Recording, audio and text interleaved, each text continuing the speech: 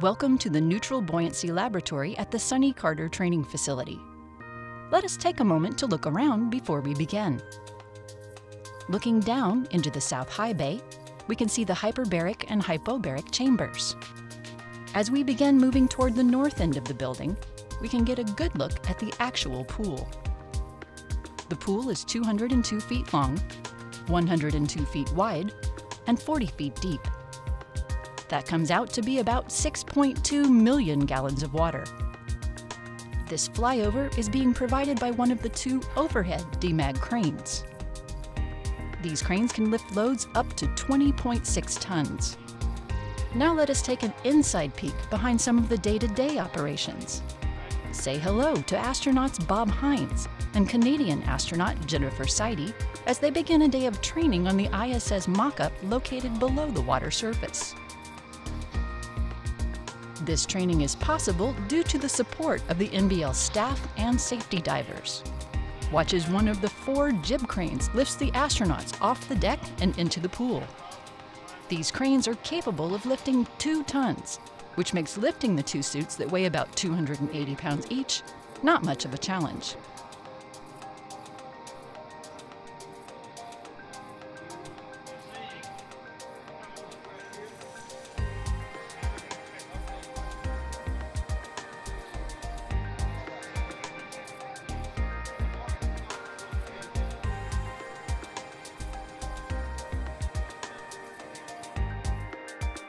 Now for a glimpse under the surface, something very few people get to experience.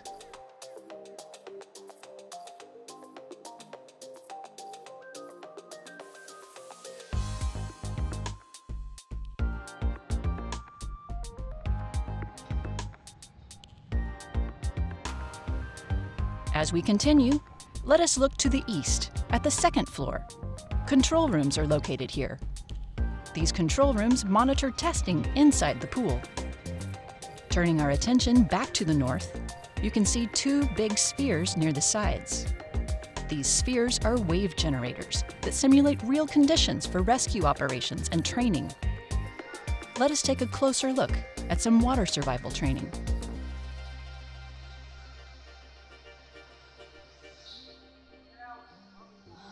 The Water Survival Training course consists of four stations. Those stations simulate being dropped into the water, dragged by a parachute, how to egress from under the parachute, and various rescue methods.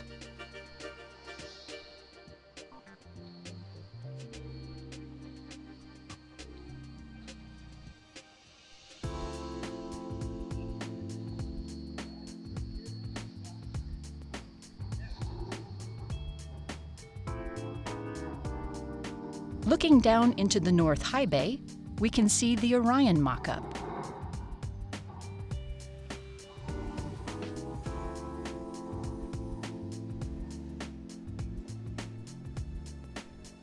Next stop on our tour of the Sonny Carter Training Facility is the Light Manufacturing Facility,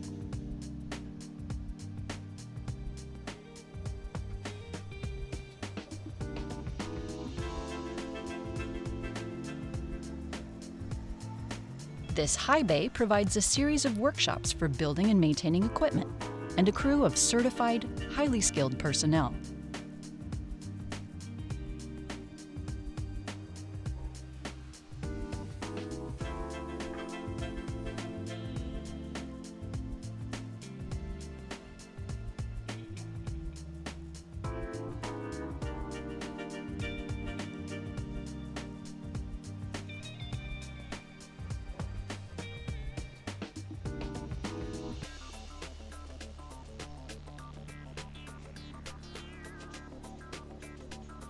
Sonny Carter Training Facility provides a safe environment for training and evaluating procedures used in complex water operations, helping minimize threats to health and safety.